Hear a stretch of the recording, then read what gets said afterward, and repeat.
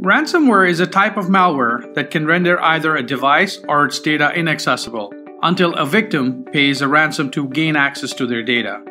These attacks impact just about any type of organization, and it's not limited to Windows systems only, but also to Android and Macs as well.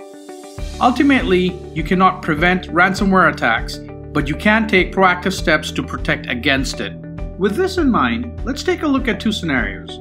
The first scenario is setting up regular time index backups for data on endpoints and cloud applications to proactively protect an organization against ransomware. The second scenario is in the event of a successful ransomware intrusion and how an IT administrator can restore information and search for files infected with ransomware. To configure automated backups in InSync, go to the Backup Content tab in the user profile.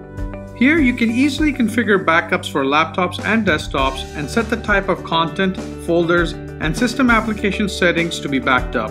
The settings can be modified based on the type of operating system, Windows, Mac, or Linux, and you can also allow users to add or modify their backup folders.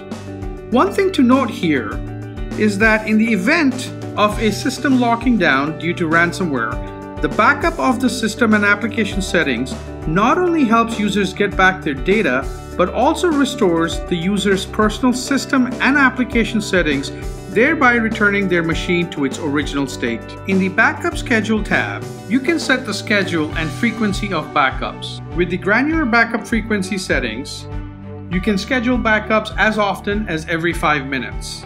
Next, click on the Mobile Access and Backup tab to set up backups for mobile devices like smartphones and tablets. Here you can enable data access for mobile devices, specify mobile data for backups, and provide users with the option to add content, modify backup schedules, and resource settings. Every data protection solution should be comprehensive to include cloud application data backups. Click on the Cloud Apps tab to configure data backups from cloud applications like Office 365, Box, or Google Apps for Work. Now that backups have been configured for endpoints and cloud applications, InSync will automatically perform time index backups regularly and will provide a summary in its dashboard.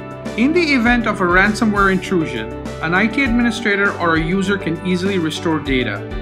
An IT administrator can restore data by logging into the InSync portal and locating the user's data. As shown over here, I'm accessing George Taylor's data.